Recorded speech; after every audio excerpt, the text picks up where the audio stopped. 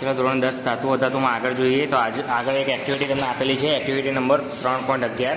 તો એના પછી આપણે આગળ જોઈએ કે ધાતુની જ્યારે એસિડ સાથે પ્રક્રિયા થાય ત્યારે શું શું નિપજ મળે અને શું શું પ્રોસેસ થાય એના વિશે જોઈએ આપણે. તો ધાતુની એસિડ ધાતુ. ધાતુ કઈ કઈ હોય? કે જેની આઉટર ઓર્બિટમાં એક, બે, ત્રણ ઇલેક્ટ્રોન હોય તે એક, બે, ત્રણ બીજાને આપી દે અને એ ધાતુ બની જાય. તો જો લખેલું છે કે મેગ્નેશિયમની, એલ્યુમિનિયમની, ઝીંક અને લોખંડની. આવી સલ્ફ્યુરિક એસિડ સાથે એટલે એચ ટુ એસોફોર સાથે આપણે પ્રક્રિયા કરવી છે, બરાબર? મેગ્નેશિયમ, તો મેગ્નેશિયમનું એમજી લખ્યું છે, તો એમજી એલ્યુમિનિયમ, તો એલ્યુમિનિયમનું એલ લખેલું છે, તો એલ ઝીંક ઝીંકનું જેડેન તો જેડેન લખેલું છે જેડેન લોખંડ લોખંડ એટલે આયરન આયરન એટલે એફી તો એફી લખેલું છે. હવે, એ બધાની કોની સાથે પ્રક્રિયા? એચ ટુ એસો ફોર તો જો plus H two S O four plus H two S O four plus H two S O four ને પ્લસ એચ ટુ હવે નિપજ. તો હવે નિપજમાં શું શું મળે છે એ પ્રક્રિયાના સમીકરણો લખો. પણ કેવા? સમતોલિત. તો પહેલાં ખાલી સમીકરણ લખીએ, પછી સમતોલિત. હવે અહીંયા એસો ફોર છે, અહીંયા એમજી છે. તો એમજી એસો ફોર બને. અહીંયા એલ્યુમિનિયમ છે ને અહીંયા સલ્ફેટ છે. તો એ એલ ટુ જો અહીંયા ટુ હોય તો અહીંયા એસો ફોર ફાઈવ થઈ જાય. એ જ રીતે Z N S O four એ જ રીતે એફ એસો ફોર અને દરેકમાંથી હાઇડ્રોજન વાયુ મુક્ત થાય. હવે આપણને ઉપર એક શબ્દ વાપર્યો છે, સમતોલિત. સમતોલિત એટલે સંતુલન કરવાનું. હવે સંતુલન કઈ કઈ રીતે કરીશું? તો બેલેન્સ જુઓ એમજી એસો ફોર તો અહીંયા પણ એમજી એસો ફોર ને એચ ટુ તો બસ પહેલામાં તો બેલેન્સ કરવાની જરૂર જ નહીં. બીજામાં જુઓ, તો બીજામાં એલ્યુમિનિયમ છે એચ ટુ એસો ફોર છે. તો એલ્યુમિનિયમના બે અણુ છે, તો એલ ટુ તો આ તો બેલેન્સ થઈ ગયું. એલ ટુ હતું, એટલે એલ ટુ તો એલને બેલેન્સ કરવા માટે એ ડાબી બાજુમાં બે વડે ગુણ્યા હતા અને પછી એસો ફોર ફાઇવ હતું. તો એસો ફોર ત્રણ હોય, તો અહીંયા એસો ફોરને ત્રણ બનાવવા પડે, તો આના આગળ ત્રણ વડે ગુણ્યા છે. હવે આના ત્રણ વડે ગુણો એટલે એચ કેટલા થઈ ગયા? આ બે અને આ ત્રણ, એટલે છ થઈ ગયા, તો થ્રી એચ ટુ બરાબર? ઓકે બાકી તો જો ત્રીજું અને ચોથું ઇક્વેશન છે, એ તો બેલેન્સ જ છે. તો આ રીતે જ્યારે પણ ધાતુ હોય એની સલ્ફ્યુરિક એસિડ સાથે પ્રક્રિયા કરીએ, તો ધાતુના સલ્ફેટ મળે છે. શું મળે છે? ધાતુના સલ્ફેટ અને એમાંથી હાઇડ્રોજન વાયુ મુક્ત થાય છે. હવે કઈ ધાતુ નાઇટ્રિક એસિડ સાથેની હાઇડ્રોજન વાયુ મુક્ત કરતી નથી? એટલે કે કઈ ધાતુ એવી છે કે જે નાઇટ્રિક એસિડ સાથે હાઇડ્રોજન વાયુ મુક્ત ના કરે? તો એલ્યુમિનિયમ ક્રોમિયમ એ ધાતુની નાઇટ્રિક એસિડ સાથે પ્રક્રિયા કરો તમે, તો હાઇડ્રોજન વાયુ મુક્ત થાય ના. એનું કારણ છે, શું છે? કારણ કે નાઇટ્રિક એસિડ એ પ્રબળ ઓક્સિડેશન કરતા હોવાથી કેવું છે પ્રબળ ઓક્સિડેશન કરતા. એના કારણે શું કરે? એ એસ ટુ વાયુનું પાણીમાં ઓક્સિડેશન કરી દે. શું કરે? જે આપણું હાઇડ્રોજન વાયુ હતું, એનું શું કરે? પાણીમાં ઓક્સિડેશન કરી દે અને તે પોતે કોઈ પણ પ્રકારના નાઇટ્રસ ઓક્સાઇડમાં રિડક્શન પામી જાય. એટલે કે જે નાઇટ્ર એન ટુ હતું તો N two O N O N O two આવું રિડક્શન કરી દે. ફરીથી કઈ ધાતુનું નાઇટ્રિક એસિડ સાથે હાઇડ્રોજન વાયુ મુક્ત કરે નહીં? ઉપર જુઓ ને, ઉપર બધું બતાવ્યું ને તમે, કે એસિડ સાથે પ્રક્રિયા કરો તો આ સલ્ફેટ મળે. પરંતુ એલ્યુમિનિયમ, ક્રોમિયમ એવું છે કે જે હાઇડ્રોજન વાયુ મુક્ત ના કરે. એનું કારણ છે કેમ?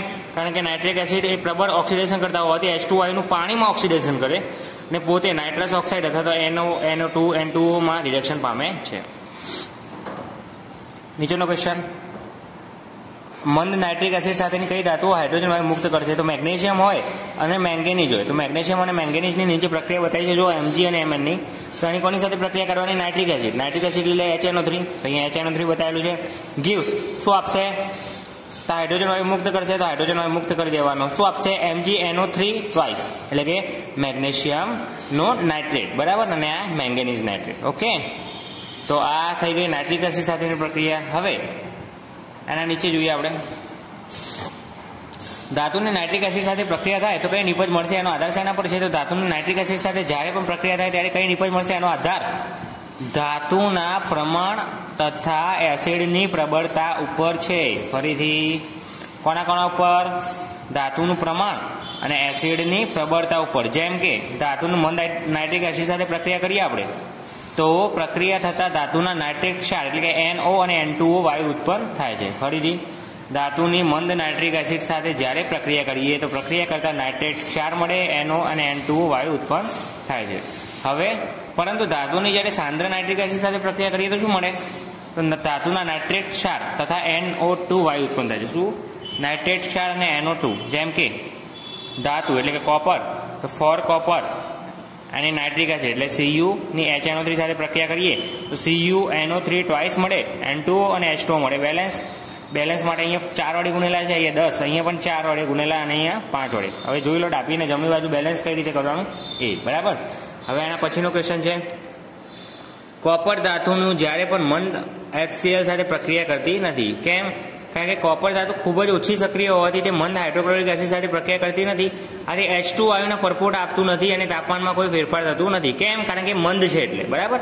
નીચે નીચે તો મેગ્નેશિયમ ધાતુની મંદ એચસીએલ સાથે પ્રક્રિયાથી પ્રતિક્રિયાત્મક પ્રતિક્રિયાત્મકતા સૌથી વધુ છે. એટલે કે એક્ટિવિટી એટલે એક્ટિવ એક્ટિવ પ્રતિક્રિયાત્મકતા એટલે શું? તો એક્ટિવ કોઈ પણ વસ્તુ બીજી વસ્તુ કરતાં કેટલું વધારે એક્ટિવ છે? એ, બરાબર? અથવા તો પ્રતિની જગ્યાએ આપણે ખાલી ક્રિયાત્મક બોલીએ તો પણ ચાલે. બરાબર? પ્રતિક્રિયાત્મક. બરાબર? તો મેગ્નેશિયમ વધુ સક્રિય હોવાથી મંદ એચસીએલ સાથે પ્રક્રિયા કરીને એટલું વાયુ ઉત્પન્ન કરે છે. આથી વધુ પ્રમાણમાં પરપોટા ઉત્પન્ન થાય અને વધુ ઉષ્મા પણ ઉત્પન્ન થાય. કાલે કાલે જ આપણે જોયું ને એચ ગેસ ઉત્પન્ન થાય ને, એ પ્રક્રિયા ઉષ્માક્ષેપક હોય. ઉષ્માક્ષેપક એટલે એ ઉષ્મા ઉત્પન્ન કરે. તો જે ઉષ્મા ઉત્પન્ન કરે એ ક્રિયાત્મક વધુ કહેવાય. બરાબર?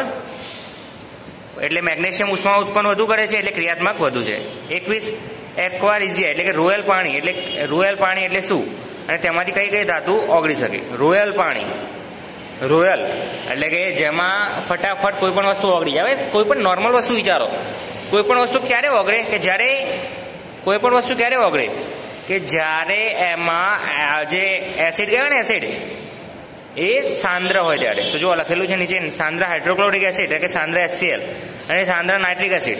એનું કદથી થ્રી જેમ વન પ્રમાણ ધરાવતા તાજા મિશ્રણને રોયલ કહે છે. ફરીથી રોયલ એટલે સાંદ્ર હાઇડ્રોક્લોરિક એસિડ ને સાંદ્ર નાઇટ્રિક એસિડ. તો ત્રણ ભાગનું સાંદ્ર હાઇડ્રોક્લોરિક એસિડ હોય અને એક ભાગનું સાંદ્ર નાઇટ્રિક એસિડ હોય.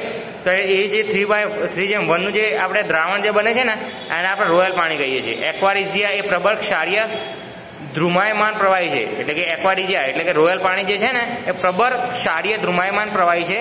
અને એક્વારિજિયા દ્રાવણમાં સોના તેમજ પ્લેટિનિયમ જેવી ઉમતા ધાતુ ઓગળી જાય. સોનું પણ ઓગાળી દે, પ્લેટિનિયમ પણ ઓગાળી દે એક્વારિઝિયા અથવા તો રોયલ પાણી. તો આ જ આખી એક્ટિવિટી પરથી આપણે પ્રશ્નો બનાવ્યા નવા નવા કે ધાતુની એસી સાથે પ્રક્રિયાથી શું શું થાય. બરાબર? ઓકે તો આ પ્રક્રિયા એક્ટિવિટી તમારી પૂરી થઈ ગઈ. Activity number three point one one